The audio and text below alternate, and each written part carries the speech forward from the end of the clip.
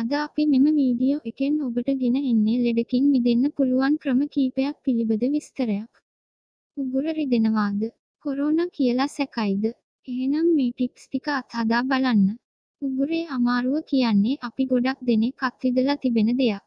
උගුරේ ආසාදන විවිධ හේතු නිසා ඇතිවෙන්න හැකියාව තිබෙනවා. වර්තමාන කොවිඩ් තත්ත්වයක් නිසා උගුරේ ආසාදන වලට වෛද්‍ය උපදෙස් පැතීම තමයි හොඳම දේ. ඒ වුණාට හෙම්බිරිස්සාවක් හැදෙන්න එන වගේ අවස්ථාවක ඇතිවෙන උගුරේ අමාරුවට අපිට ගෙදරදීම කරන්න පුළුවන් පිළියම් තියෙනවා. ඉතින් ඔයාට ඒ විදිහේ පොඩි උගුරේ අමාරුවක් හැදෙන්න වගේ එනවනම් ලේසියෙන්ම ගෙදරදීම කරගන්න පුළුවන් අත්බෙහෙත් කීපයක් ගැනයි ලෝකයා ටීවී තුලින් කියලා දෙන්න හදන්නේ. අංක 1. වාෂ්ප ඇල්ලීම. ඒ කියන්නේ දුම් ඇල්ලීම. උගුර රිදෙනවා වගේ එනකොට බෙහෙත් වලට ඉක්මනින්ම යන්නේ නැතුව වාෂ්ප ඇල්ලීම මගින් උගුර ඉදිමීම අඩු කරගන්න හැකියාව තිබෙනවා.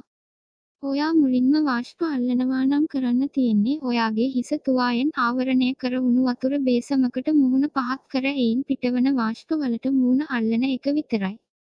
මෙම උණු වතුර බේසමට දෙහි කොළ ටිකක් සිද්ධාලේප ටිකක් එක් කර ගත්තාම තවත් හොඳයි. අංක 2. ලුණු වතුරෙන් උගුර සේදීම ලුණු වතුරෙන් උගුර සෝදන එක අපිට පොඩි කාලේ ඉඳන් හුරු පුරුදු දෙයක්. ඔයාට මතක ඇති අපිට උගුරේ අමාරුවක් හැදුනහම අම්මා ලුණු වතුර දෙනවා උගුර සෝදන්න. හැබැයි ලුණු වතුරෙන් උගුර සෝදනකොට දැනගෙන ඉන්න අවශ්‍ය කාරණාවක් තිබෙනවා. ඒ තමයි ඕනවට වඩා රස්නේ වතුර ගන්න හොඳ නැහැ. ඒ වගේම ඕනවට වඩා ලුණු දාන්න හොඳත් නැහැ. මිලිලීටර් දෙසිය පණහක මද රස්නේ වතුරවලට ලුණු කුඩු තේ හැඳි කාලක් හෝ භාගයක් විතර මිශ්‍ර කරගන්න. මේක තමයි හරිම පදම. උගුර කියන්නේ සංවේදී ස්ථානයක්. ඒ නිසා හරිම පරිස්සමින් තමයි උගුර සෝදන එක කරන්න ඕනේ. අංක 3. උළුහාල් ප්‍රතිකාරය. මේකත් හරියට ලුණු වතුරෙන් උගුර සෝදනව වගේම කරන්න තිබෙන ලේසි ප්‍රතිකාරයක්. ඔයාට කරන්න තියෙන්නේ උළුහාල් තේ හැඳි දෙකක් නටන වතුරේ විනාඩි 30ක් විතර කාලයක් තම්බාගෙන උගුර හොදන්න සුදුසු උණුසුමට එනකම් මද වේලාවක් නිවෙන්න තියලා උගුර සෙමින් සෝදන්න. මේක උගුරේ අමාරුවට වගේම කැස්සට උගුර තුවාල වීම නිසා හටගන්නා උගුරේ වේදනාවටත් සහනයක් ලබා දෙනවා. අංක 4. දෙහියොෂ සමග මී පැණි පානය ලෙමන් සහ දෙහි වැනි පැදිරි පළතුරු ඔයාගේ උගුරේ ඇතිවෙන ආබාධ අවම කරන්න ගොඩක් උපකාරී වෙනවා.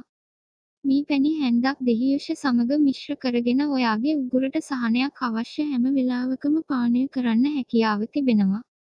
දෙහියුෂ නැතිනම් ඔයාට ඒ වෙනුවට ලෙමන් වතුර භාවිතා කරන්නත් පුළුවන්. මතක තියාගන්න දෙහියුෂ හෝ ලෙමන් පානය කරන වෙලාවට ටික ටික පානය කරන්න. ඒ සඳහා බීම බටයක් භාවිතා කරන එක තමයි හොඳම දේ. අංක 5. නිදා ගන්නා වෙලාවට හිස ඔසවා තබා ගන්න. ඔයාට මතකද අසනීප වෙලා ඉන්න වෙලාවක පොඩි නිින්දක් ලබා ගත්තාම කොච්චර සනීපයක් දැනෙනවාද කියලා. උගුරේ අමාරුවක් තිබෙන වෙලාවක ඔයා නිදාගන්න යනවා නම් හිස ඔසවා තබා ගන්න. නිදාගන්න කලින් මුලින්ම කොට්ට දෙකක් හෝ තුනක් මත හිස තබාගෙන හිස ඔසවා තබා ගන්න. මෙය ඔයාට පහසුවෙන් හුස්ම ගැනීමට උපකාරී වෙනවා විතරක් නෙවෙයි ඔයාගේ මුඛය වසා තබා ගැනීමටත් උගුරේ ඇතිවෙන පීඩා අවම වෙන්නත් හේතුවක් වෙනවා. අපි හිතනවා මෙම වීඩියෝ එකෙන් ඔබත් දැනුමක් ලබන්නට ඇති කියා. මෙවැනි වීඩියෝ බැලීම සඳහා මතක ඇතුව අපිව සබ්ස්ක්‍රයිබ් කරන්න. තවත් වීඩියෝ එකකින් හමුවෙමු.